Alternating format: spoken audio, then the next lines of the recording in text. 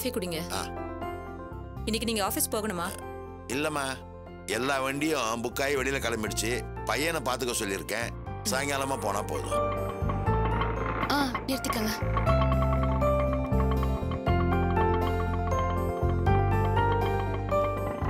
எங்க? தீபா வந்திருக்கா. வா தீபா. வாமா என் பொண்ணை பார்த்து ரொம்ப நாள் ஆச்சு. எப்படிம்மா இருக்க? நல்லா இருக்கேன்ப்பா. அம்மா அவர் இன்னும் வரல இன்னும் வரல. அதுக்கு தான் பதறி அடிச்சுக்கிட்டு வந்தியா? ஏம்மா இவ்வளவு டென்ஷனா வந்திருக்க? டென்ஷன்லாம் ஒண்ணும் இல்லப்பா. இங்க வந்து கூட்டிட்டு போறேன்னு சொல்லிருக்காரு நாங்க இன்னைக்கு சினிமாக்கு போறோம்ப்பா. அம்மா அவர் வந்தா நான் துளசி வீட்டுக்கு போனதை சொல்லிடாத. சொல்ல மாட்டேன். நீ பேசிட்டே இரு காஃபி எடுத்துட்டு வந்துடு. ஐயோ அம்மா அதெல்லாம் ஒண்ணும் வேண்டாம். அவர் வந்ததும் உடனே கிளம்புற மாதிரி இருக்கும். நாங்க வெளியே போய் குடிச்சுக்கிறோம். ரெண்டு நிமிஷம் ஆகுமாடி? அதெல்லாம் ஒண்ணும் வேண்டாம். நீ பேசாம உட்காரு. அப்பா நீங்க எப்படிப்பா இருக்கீங்க? அம்மா கூட நீங்களும் வீட்டுக்கு வந்திருக்கலாம்ல.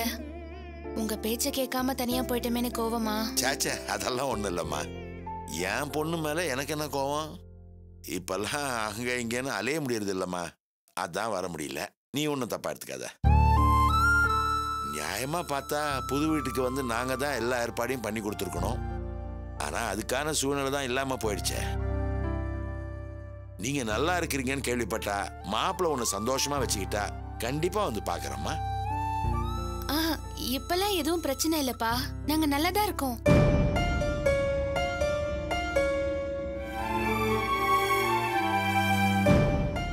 ஆ, அம்மா தங்கச்சிங்கெல்லாம் ஒழுங்கா ஸ்கூலுக்கு போறாங்கல்ல? ஆ போறாங்கடி. ஒன்றும் பிரச்சனை இல்ல. வீடெல்லாம் எப்படிம்மா? வசதியா இருக்கா? இந்திரா பார்த்துட்டு வந்து நல்லா தாராளமா தான் இருக்குன்னு சொன்னா. நீ எப்படி காலேஜுக்கு போற? பஸ் வசதி எல்லாம் இருக்குல்ல? ஆ இருக்குப்பா. இல்லனா பக்கத்துலயே ஆட்டோ ஸ்டாண்ட் இருக்கு. அதை பிடிச்சு கூட போயிடுவேன்.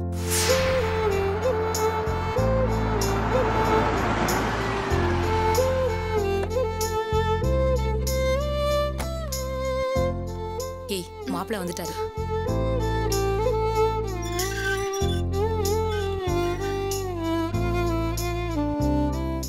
வாங்க தம்பி. ஆ வாங்க. ம். தீபா போலாமா? உட்காருங்க. காஃபி சாப்பிட்டு போலாம். இல்ல தோ ஷோவுக்கு டைம் ஆகி போச்சு இப்பவே நாங்க லேட்டு கிளம்புறோம். தீபா நீ ரெடி தானே? கிளம்பலாமா? ஆ ரெடியா இருக்கீங்க. வா.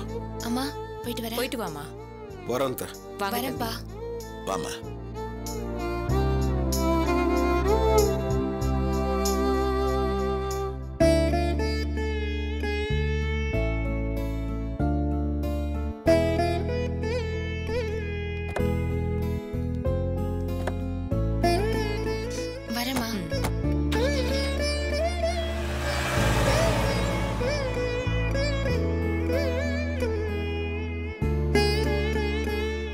என்னங்க?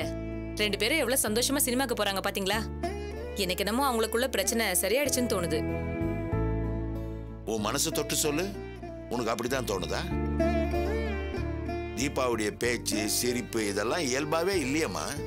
அவ உண்மையிலேயே சந்தோஷமா இருக்காளா? இல்ல நம்ம மனசு கஷ்டப்படக்கூடாதுன்னு நடிக்கிறாளான்னு பார்த்தா உனக்கு தெரியாது?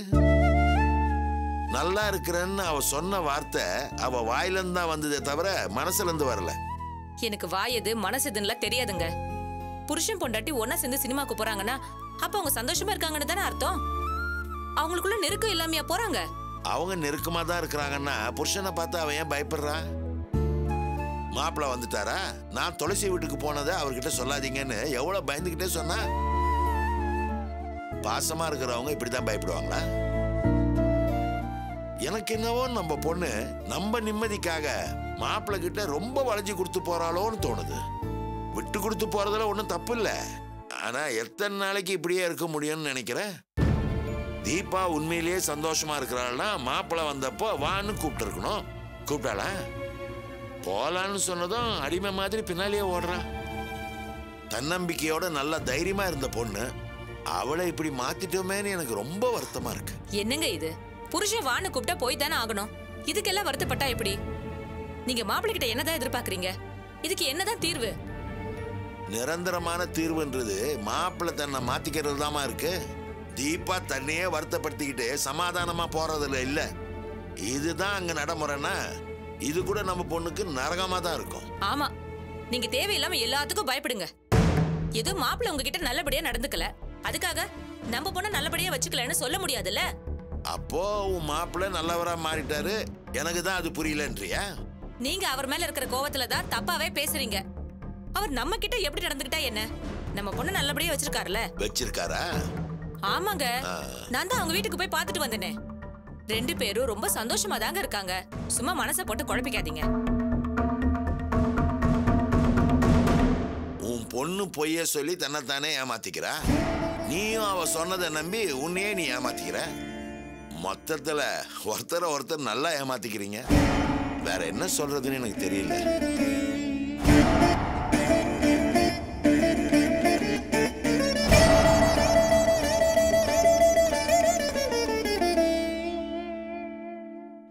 யா வந்துட்டு இருக்கோம் on the way no no டாக்ஸிலாம் வேணாம் நீ ரெடியாக நான் வந்து உன்னை பிக்கப் பண்ணிக்கிறேன்.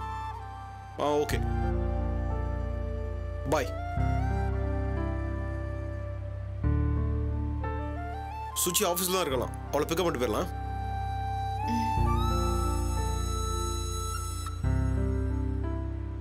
நமக்கு மேரேஜ் ஆன புதுசில் அக்காவும் தமிழும் கூட்டு போனாங்க. அதுக்கப்புறம் இப்போ தான் தேட்டர் போகிறோம்ல அதுக்கான டைம் தான் நமக்கு கிடைக்கவே இல்லையே. சுச்சியோட தயவால இப்படி ஒரு சான்ஸ் கிடைச்சிருக்கு. சுச்சி மென்ஷன் பண்ண மாதிரி ஹஸ்பண்ட் அண்ட் ஒய்ஃப்குள்ள இந்த மாதிரி அவுட்டிங்லாம் தேவைதான். அப்பதான் ஒருத்தருக்கு ஒருத்தர் ஃப்ரீயாக பேச முடியும். எல்லா விஷயத்தையும் ஷேர் பண்ணிக்க முடியும். சுச்சி அதனால தான் இந்த மாதிரி ஒரு சர்ப்ரைஸ் கொடுத்துருக்கான்னு நினைக்கிறேன். சுச்சி எப்பவுமே இப்படிதான். எதிர்பார்க்காத நேரத்தில் ஏதாவது பண்ணி அசத்திடுவா. ஃப்ரெண்ட்ஸை ஹாப்பியாக வச்சுக்கிறதுல அவளுக்கு அப்படி ஒரு சந்தோஷம். நிஜமாவே ரொம்ப டேலண்டான பொண்ணு. வேலையிலையும் சரி பர்சனல் லைஃப்லையும் சரி சி இஸ் குட் இன்னும் கூட்டமாக நிற்கிறாங்க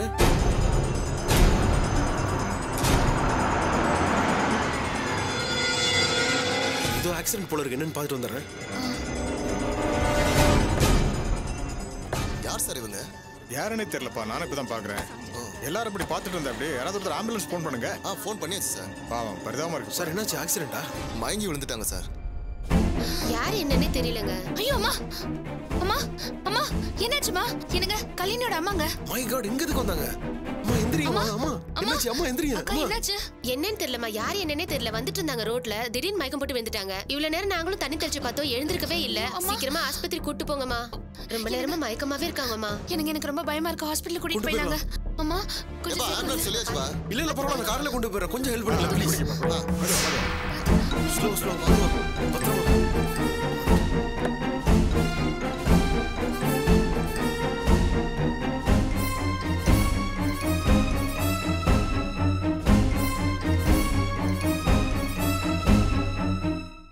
நிமிஷம் மூவ்மெண்ட்டை சொல்லிடலாம். கல்யாணி என்ன என்ன பண்ற? மோகம் கழுவிட்டு இருக்க வந்துடுறேன். சோபா.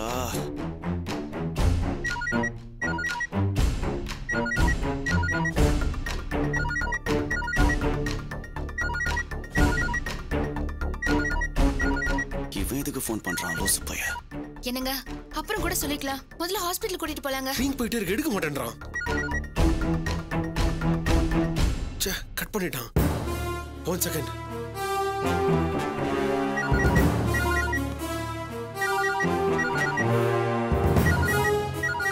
அடங்கவே மாட்டானா பைத்தியக்காரன்? கட் பண்றான் தீபா. சரிங்க அப்புறம் கூட இன்ஃபார்ம் பண்ணிக்கலாம். முதல்ல கார் எடுங்க. ஏன்பா அப்புறமா ஃபோன் பண்ணிக்கலாம். அவங்கள முதல்ல ஆஸ்பத்திரி கூட்டு போங்கப்பா. ரொம்ப சீரியஸா இரு, இரு. இருக்காங்கல்ல?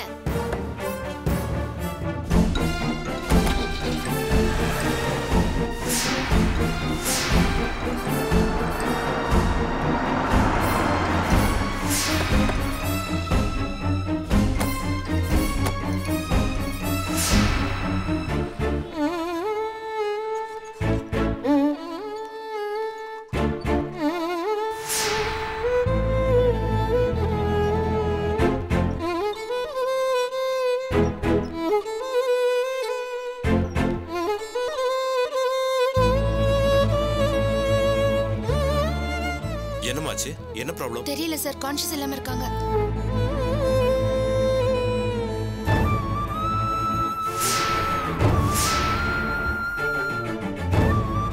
பல்ஸ் ரேட் ரொம்ப குறைஞ்சிருக்கு. ஐசியூ கொண்டு போங்க. Okay, நான். வரேன். ஓகே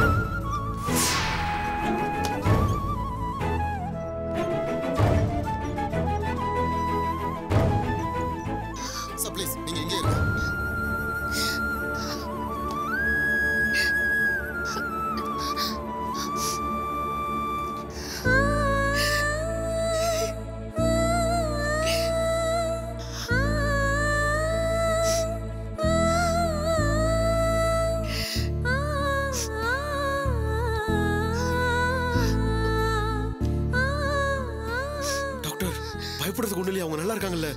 நீங்க யாரு? அந்த அம்மாவோட சன்னா? சார் தெரிஞ்சவங்க ஃப்ரெண்டோட அம்மா. சாரிங்க அவங்களுக்கு மேசிவ் அட்டாக் வந்திருக்கு. ரொம்ப நேரம் ஆயிட்டதுனால blood clot ஆயிருச்சு. காப்பாத்துறது ரொம்ப கஷ்டம். சார் சார் எப்படியாவது காப்பாத்துங்க சார். ரொம்ப ஆரோக்கியமா இருந்தாங்க. அவங்களுக்கு எப்படி சார் அட்டாக் வரும்? இது ஃபர்ஸ்ட் டைமா கூட இருக்கலாமா? ஆனா சிவியரா வந்திருக்கு. முடிஞ்ச வரைக்கும் நாங்க ட்ரை பண்றோம். ஆனா 90% பர்சன்ட் காப்பாத்துறது கஷ்டம்.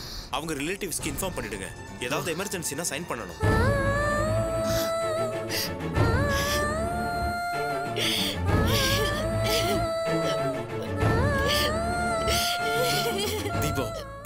அமைதியாரு எதுக்கு பழுகுற? இல்லங்க இவ்வளவு நாள் பொண்ணுங்களை வளர்க்க இவ்வளவு கஷ்டப்பட்டிருப்பாங்க.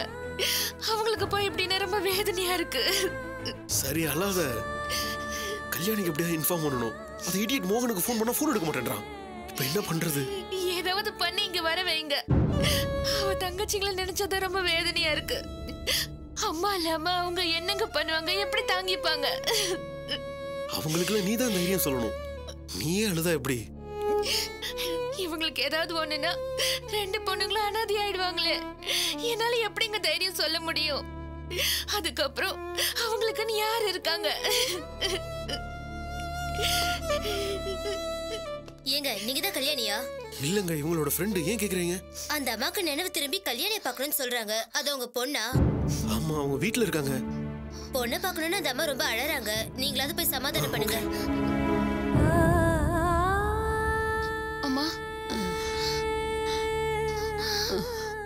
எப்படிமா இருக்கு? கல்யாணி எங்கம்மா? எனக்கு அவளை பார்க்கணுமே. வர சொல்றியா? நான் ஃபோன் பண்றேம்மா. அவ வந்துருவா. வீட்டில் ரெண்டு பிள்ளைங்களும் தனியா இருப்பாங்க. கல்யாணிய பார்த்துக்க சொல்லு தீபா. எனக்கு அப்புறம் அவங்க ரெண்டு பேரோட எதிர்காலம் என்னாகுமோன்னு தெரியலம்மா. உங்களுக்கு ஒண்ணும் ஆகாதும்மா. ஏன் இப்படி எல்லாம் பேசுறீங்க? ஆண்டவன் எனக்கு முடிவு பண்ணிட்டாம்மா. அவளை சீக்கிரம் வர சொல்லு தீபா. சாகரத்துக்குள்ள ஒரு தடவை அவங்க முகத்தை நான் பார்த்துடுறேன் தீபா. ஐயோ அம்மா அப்படிலாம் சொல்லாதீங்க. உங்களுக்கு ஒண்ணும் ஆகாது. நீங்க நல்லாயிடுவீங்க. என் வாழ்க்கை முடிச்சு போச்சுமா என் பிள்ளைங்களை நான் அதையா விட்டுட்டு போறேம்மா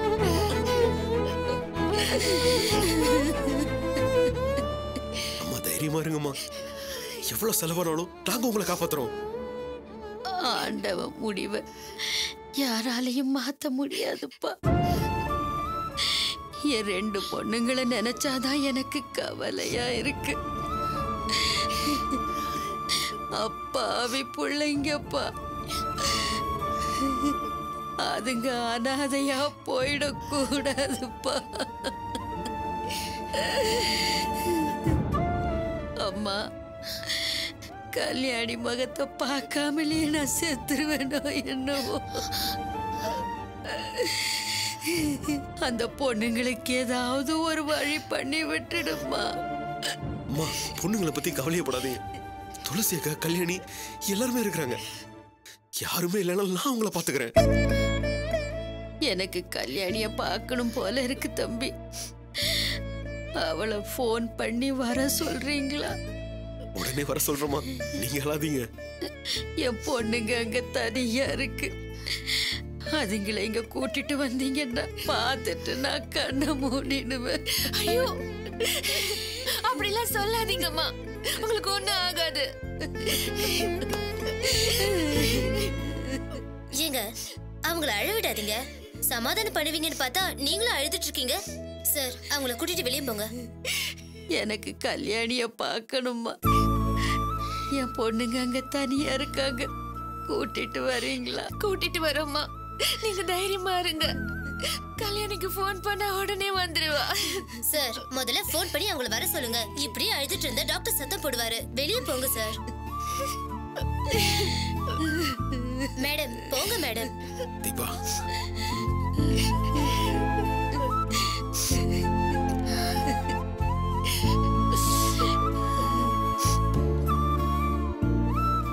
என்னங்க? மோகனுக்கு திரும்பவும் ட்ரை பண்ணி பாருங்க.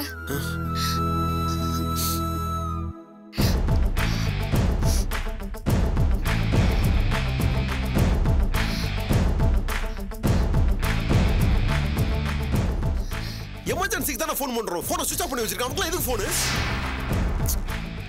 கல்யாணி. ரெடி ஆயிட்டேன் என்ன கிளம்பலாமா? இதே தான் நான் ஒரு மணி நேரமா சொல்லிக்கிட்டு இருக்கேன். குவிக்கா கிளம்புனா எல்லா பொண்ணுங்களுமே மேக்கப் போட ஒரு நாள் எடுத்துக்கிறீங்க. சரி ஓட்டாத. நீ போய் வண்டி எடு நான் மாமா கிட்ட சொல்லிட்டு ஏய் அப்பா தூங்கிட்டு இருக்காரு அப்புறமா சொல்லிக்கலாம்.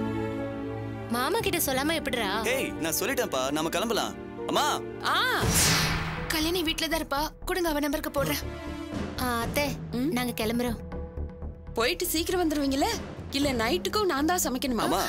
ஃப்ரெண்டு வீட்டுக்கு தான் போறோம். விருந்து கூப்பிட்டுருக்காங்க. சாப்பிட்டு ஒரு பத்து நிமிஷம் பேசிட்டு உடனே கிளம்பிடுவோம். சரியா? வா. ஏய் இரு இரு, ஒரு நிமிஷம். இதை வச்சுக்கோ நான் பூ வைக்க மறந்துட்டேன்.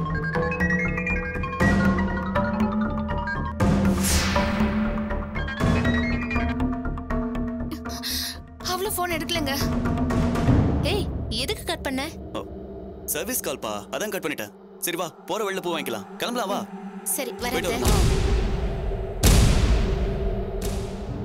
அவங்க வீட்ல லேண்ட்லைன் ஃபோன் இருக்கா? ஆ இருக்கு. ஆனா நம்பர் என் போன்ல இருக்கு. போன் கார்ல இருக்கு வாங்க.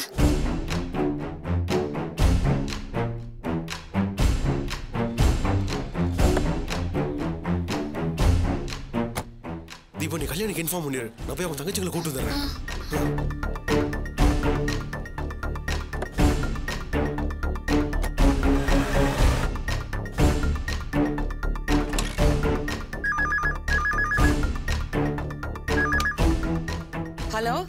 யார் பேசுறது? அம்மா நான் தீபா பேசுறேம்மா. கல்யாணி வீட்ல இல்லையா? என்னாச்சு? ஒரு நிமிஷம். இல்ல ஏன் கேக்குற? கல்யாணியோட அம்மாக்கு ரொம்ப சீரியஸா இருக்குமா? அவங்கள ஹாஸ்பிட்டல்ல சேர்த்திருக்கோம். அவ எங்கம்மா போயிருக்கா? அடக்கடவுளே அவளும் மோகனி இப்பதானே வெளியே போனாங்க? அந்த அம்மாவுக்கு என்னாச்சு? ஹார்ட் அட்டாக்னு சொல்றாங்கம்மா. எனக்கு என்னமோ பயமா இருக்கு. ரெண்டு பேரும் எங்கம்மா போயிருக்காங்க? ஃப்ரெண்டு வீட்டுக்கு போறேன்னு சொன்னாங்க. ஆனா எப்போ வருவாங்கன்னு தெரியலையேம்மா. எப்படியாவது தகவலை சொல்லியாகணுமா? அவங்க அம்மாவளை பாக்கணும்னு ஆசைப்படுறாங்க.